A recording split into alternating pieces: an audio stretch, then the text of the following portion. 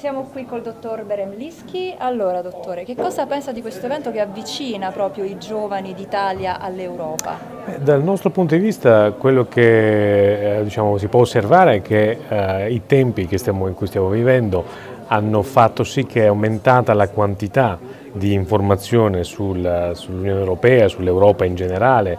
per vari motivi, soprattutto negativi, come per esempio la crisi economica che stiamo vivendo eh, e eh, insomma, la trasformazione politica.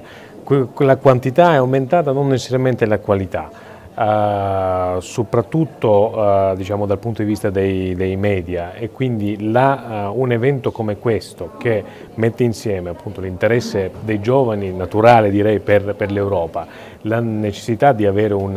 un'informazione, un una comunicazione sempre più di qualità oltre che di, quantità sul, sull'Unione Europea, eh, non, non, può che ovviamente rallegrarci. E quindi eh, è importante che un, un, un, percorso come questo qui, eh, a cui stiamo assistendo, alla cui nascita stiamo assistendo, appunto prenda, prenda il massimo eh, diciamo, eh, slancio, il massimo interesse e, e che possa appunto portare ai, ai, risultati, ai, risultati, positivi, anche perché c'è un elemento fondamentale che eh, traspare appunto dal percorso di studi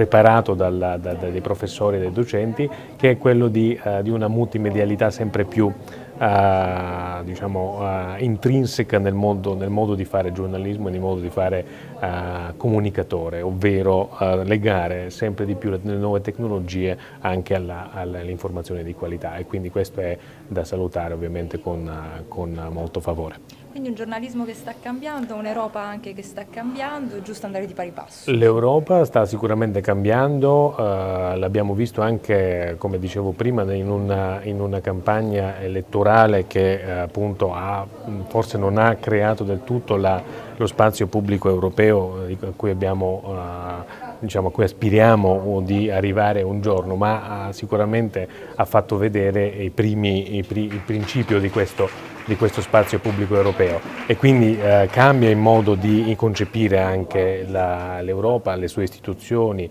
eh, il processo politico stesso che sta diventando sempre più politico, di pari passo ovviamente anche necessità di un nuovo tipo di approccio anche di, di, di informazione di comunicazione e anche di giornalismo.